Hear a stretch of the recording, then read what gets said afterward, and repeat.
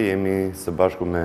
përfaqësuesin e kompanisë Aleat dhe duke filluar nga kjo e shtunë deri në fund të muajit gusht,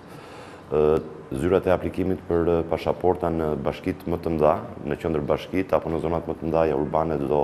do vijojnë t'u shërbejnë qytetarëve nga ora 8 derisa po të mbarojë dhe qytetari i fundit në radhë. në këtë mënyrë për të përballuar dhe për t'iu përgjigjur fluksit sa vjen e në rritje të qytetarëve për aplikimet për pashaporta dhe ID kartë. Gjithashtu, ju bëjmë me dije të gjithë qytetarëve që sot nuk funksionon vetëm thjesht zyra e aplikimit për dokumentat biometrikë, por janë të hapura në të gjitha drejtoritë e policisë qarqe dhe pranë komisariateve dhe zyrat e shpërndarjeve,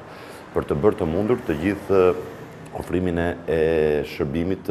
ditëve të shtuna. Ajo çfarë ne do kërkojmë dhe ju tërheqim vëmendjen të gjithë shtetasve, do ju lutesha shumë që përgjatë procesit të aplikimit të eliminojnë, duke bërë aplikimin pranë portalit e-Albania për të marrë një numër dhe një orë për të shmangur ë grumbullimet të cilat mund të sjellin si pasojë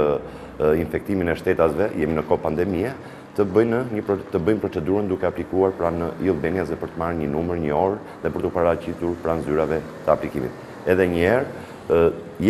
nga e shtuna sot deri në fund të muajit gusht, ne jemi hapur për t'u shërbyer qytetarëve dhe për t'ua bërë atyre procesin sa më të thjeshtë edhe gjatë ditëve të pushimit. Faleminderit.